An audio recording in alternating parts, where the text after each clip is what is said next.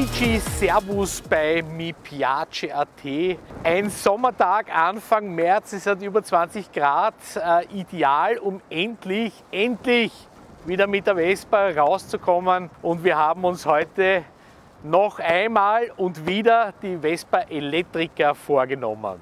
Das große Thema dieser Tage ist zwar Corona, mein großes Thema heute ist allerdings Greta. Wir haben uns dem Umweltschutz der grünen Idee verschrieben und fahren heute elektrisch durch die Wiener, herrliche Wiener Innenstadt.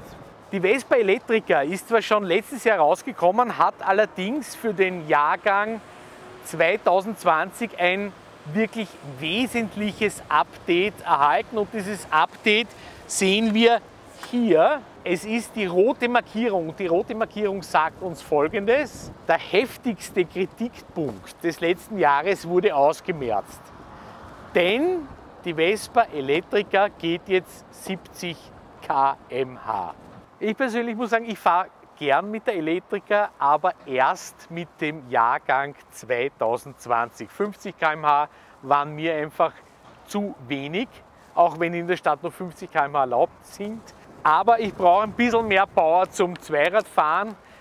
Es gibt natürlich Straßen, gerade in Wien, die eine höhere Geschwindigkeit verlangen. Die Südosttangente zum Beispiel, auf die man sich jetzt auch ohne Windeln wagen kann. Man kann mitschwimmen. Ein leichter Commuterverkehr ist denkbar und möglich. Von Mödling nach Wien hinein zum Beispiel, von Klosterneuburg hineinfahren. Das ist alles jetzt mit der 70 km/h Variante der Vespa Electrica möglich geworden.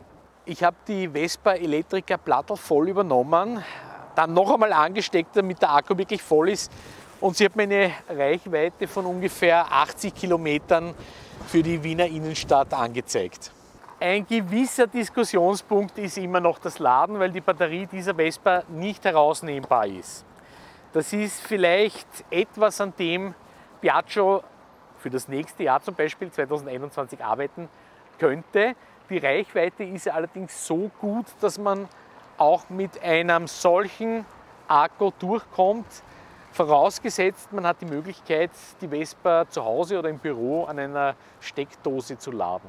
Irgendwie freue ich mich, dass Piaggio Vorreiter ist in der elektrischen Mobilisierung und doppelt erfreulich, äh, dass die Entwicklung weitergeht, die Produkte leistungsfähiger werden. Alles immer noch im klassischen, coolen Mantel einer Vespa. Man gleitet aber vollkommen lautlos mit genug Antritt, Drehmoment, Power durch die Stadt. Kein Zweitakt-Schnattern der klassischen Schaltvespers der 60er, 70er Jahre und auch nicht das harte Schlagen des 300er Motors, vielleicht noch mit einem Akrapovic drauf. Nein, man gleitet wirklich tonlos durch die Innenstadt, freundliche Blicke, Thumbs up. Man ist in der Neuzeit angekommen im Jahr 2020 und trotzdem führt man die Tradition des wirklich klassischen Motorrollers fort und das kann nur heißen Vespa.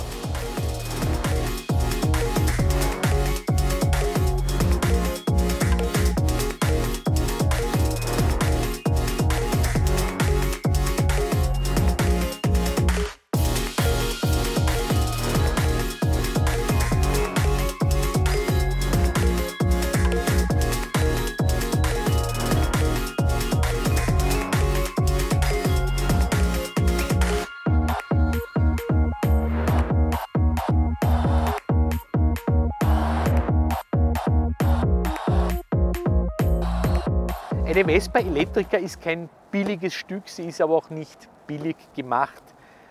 Dieser Motorroller ist ein Blechroller in alter Tradition von Piaggio, in feinster italienischer Qualität gefertigt, langlebig und vor allem wertbeständig.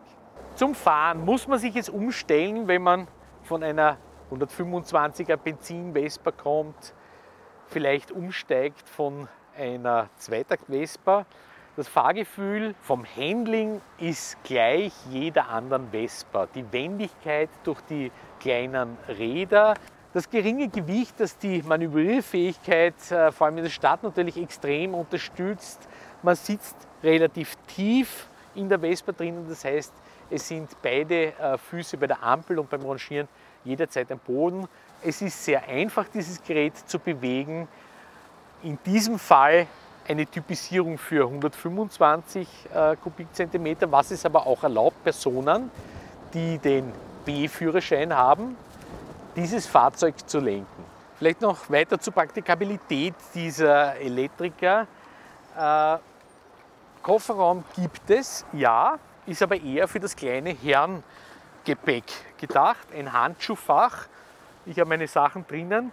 Ein Helm könnte sich ausgehen, allerdings nur ein spezieller Jethelm und es ist wirklich auszuprobieren, ob das funktionieren kann. Wenn wir schon dabei sind, äh, Laden. Wie wird geladen? Wir haben schon ein ganzes Video zum Thema Laden gemacht. Das Kabel ist fix verbaut. Die Frage ist nur, wo steckt man es an? Vielleicht noch einmal ein aktueller Bezug zu der Situation, in der sich Europa und Österreich im Moment äh, befindet. Natürlich ist eine öffentliche Verkehrsversorgung zu begrüßen, insbesondere aufgrund des äh, grünen Gedanken, der aber sowieso von diesem Fahrzeug hier getragen wird. Aber vielleicht ist es doch interessant, sich heutzutage individuell in der Stadt fortzubewegen, ohne die Umwelt zu belasten mit Abgasen, Geräuschemissionen. Man kann sich nicht anstecken, man hat Spaß. Ich glaube, dass die Vespa Elektriker hier ein wirklich super Angebot ist.